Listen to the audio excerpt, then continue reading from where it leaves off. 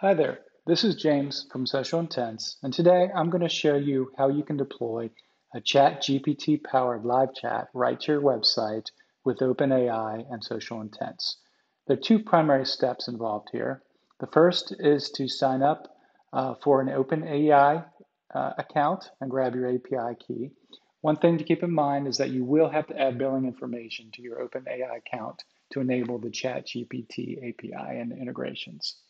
The next step is to register for a social intents free trial, um, and then we will add the OpenAI API key to the chatbot settings. So first, let's head over to platform.openai.com and either log in or sign up, click on your profile, and choose View API Keys we're going to create a new secret key that we'll use uh, in the chatbot settings in the next step here. Uh, so step two is to sign up for a social intents free trial. Um, you have some options here. You can add the integration to Teams, Slack, Zoom, or WebEx. So if you have agents and you want to uh, escalate to humans um, within any of these platforms, you can register right here with those. Uh, for our example, we're just going to sign up with an email address um, sign up with my information. And start the free trial. Uh, in our case, uh, we're fine with just this default uh, live chat agent. And then um, we see that the live chat application is ready to go. This code snippet will be the code snippet you would deploy to your website when you're ready to enable the chat GPT powered live chat. Uh, so finally, what we're going to do is go into our chatbot settings here in the live chat widget. And the chatbot settings will be the, the third tab over. And we'll enable the chatbot. We're going to select the chat GPT option for the chatbot type. We want the chat to always answer with no agents involved. And now we're going to set up some of the um, default model information. So we're going to use the, the latest uh, GPT 3.5 model here. Um, we will put it in the OpenAI API key that we copied from the uh, account on uh, step one. Um, and then we're going to put in some default welcome information for the chatbot. So we'll have here, uh, we'll just say, hey, this is a demo bot. Here's some things you can say. Um, and one, one of them will be talk to an agent.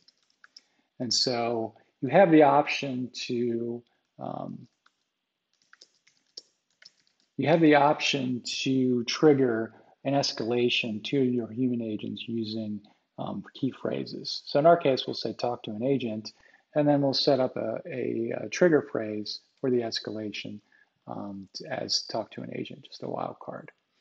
And then right now, as far as training goes, um, you can do a default system message in the chat GPT API. We're just going to copy in this information here and save it. So at this point, our uh, live chat is enabled with ChatGPT, um, and then we can deploy it to our website. Um, as far as the install code, uh, you can copy it here, and we had it in the last step, and you would just deploy this uh, code snippet to your website to enable the chat. Uh, for now, we can preview the chat. Um, so this is what the live chat widget will look like on this website by default. You can collect information. You can determine uh, what pre-sales information you want to collect.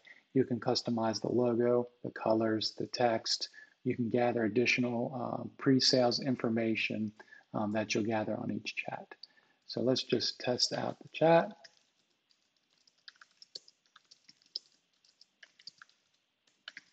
And so we'll do this initial question that will be sat, sent into um, uh, the chat integration.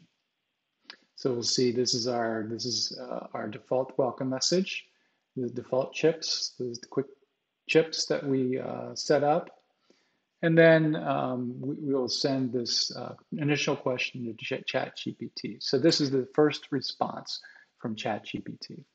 So you can do anything, um, you can ask any questions um, that you would normally ask uh, to ChatGPT. I could say, uh, what's one plus one? And we'll get a response uh, via the ChatGPT API. Um, so the other interesting thing we can do here is then we can uh, select talk to an agent, which is our trigger phrase that we set up um, that uh, would allow us to escalate um, the, the, chat to an agent. So at this point, we dropped ChatGPT out of the chat and we invited in a live chat agent. Um, so if you set up Teams or Slack, you'd get a notification um, in those clients and you could answer, um, your, your human agents can answer right there. Um, or, you know, for our case, uh, we would answer in uh, the live chat console here um, uh, to, uh, to answer the chats. So that's it. Um, if you need more information, you can visit us at socialintents.com and uh, we look forward to working with you.